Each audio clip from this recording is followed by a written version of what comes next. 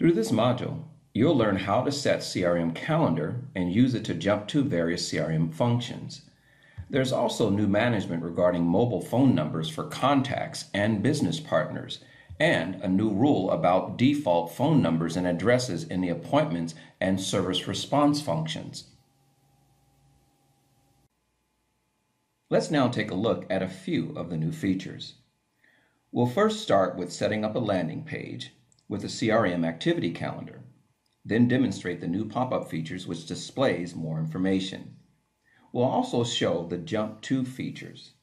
So we'll start with adding the CRM activity calendar.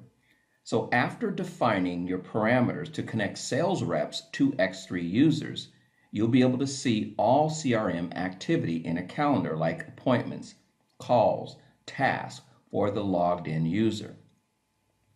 Now in this demo, my user is linked to sales rep NA102. To begin with, to add a calendar, we go to My Landing Pages and then select New. We enter in a page name, which has to be contiguous, and then a title.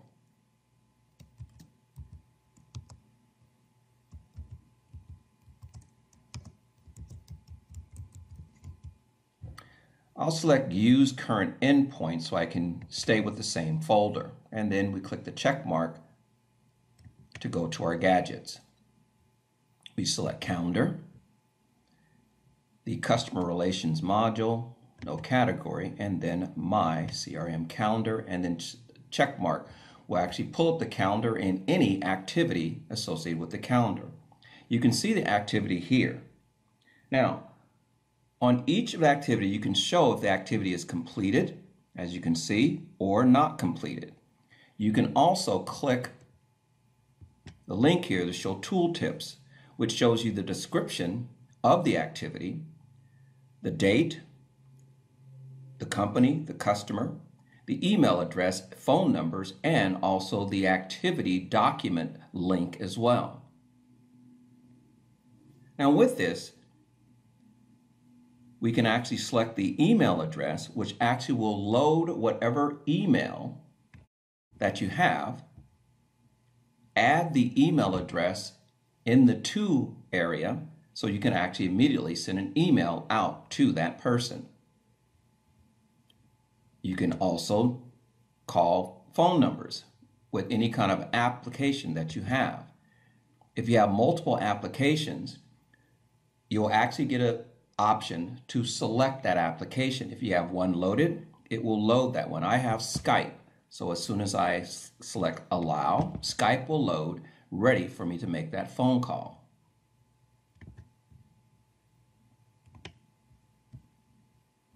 In addition, I can go straight to the activity just by clicking a link to the activity. It will load an, another instance of X3 log me in, and load that particular activity. So these are just a few of the many new features mentioned.